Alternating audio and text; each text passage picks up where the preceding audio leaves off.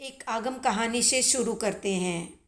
दशार्न देश के राजा दशार्न भद्र को ऐसा विचार मन में आया कि मैं भगवान महावीर का भक्त हूँ। मैं भगवान को वंदना करने के लिए इस प्रकार की अद्भुत रिद्धि और सिद्धि और वैभव के साथ जाऊँ कि आज तक किसी ने उस प्रकार के ठाट के साथ वंदना भक्ति न की हो।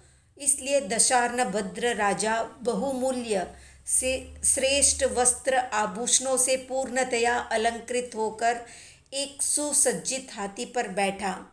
उसके पीछे चतुरंगिनी सेना, मंत्री, सामंत आदि राज परिवार और नगर के श्रेष्ठी, व्यापारी आदि चल रहे थे। उसके आगे आगे गंधर्व गान कर रहे थे। विलासिनिया नृत्य कर रही थी।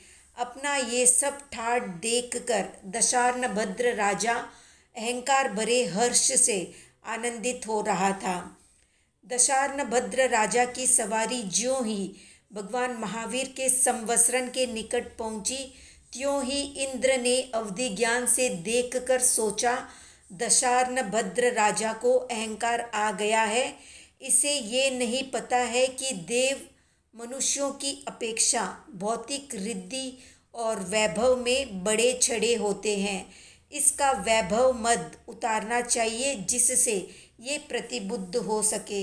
ये सोचकर इंद्रिय इंद्र वैक्रिय शक्ति से अपने एरावत हाथी पर बैठकर देवों, देवांगनाओं, नृत्य, गीत, वाद्यों के साथ कई गुना अधिक वैभव के साथ भगवान के समीप आकर प्रदक्षिणा पूर्वक वंदना करने लगा।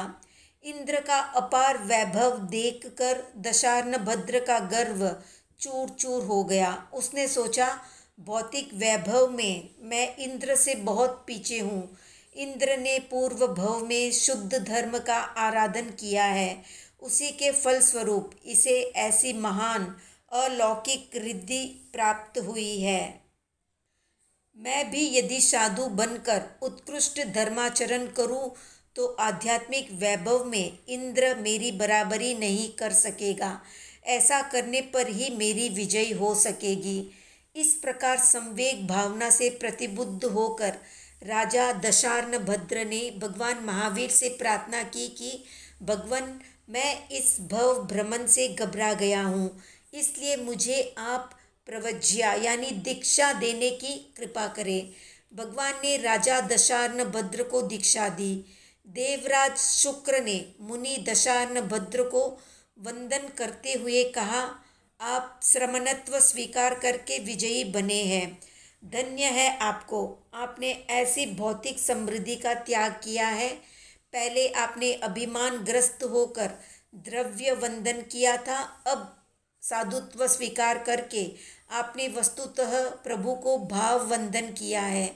इसलिए आप महान हैं। अब मैं आपकी, चरण की धूल की भी तुलना नहीं कर सकता।